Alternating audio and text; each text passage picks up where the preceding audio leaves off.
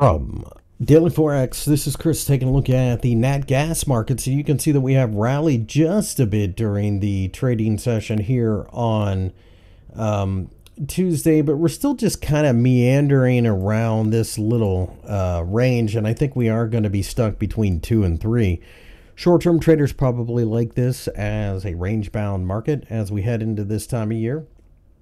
Um, so, with that being the case, uh, they may look at the 50 day EMA as a potential target right along with three. Now, having said that, if you are more of a swing trader like I am, it's easier just to wait for signs of exhaustion and start shorting. Would not be surprised to see more of this, just like we saw, you know, for example, this time frame here. Um, this time of year typically demand's pretty weak.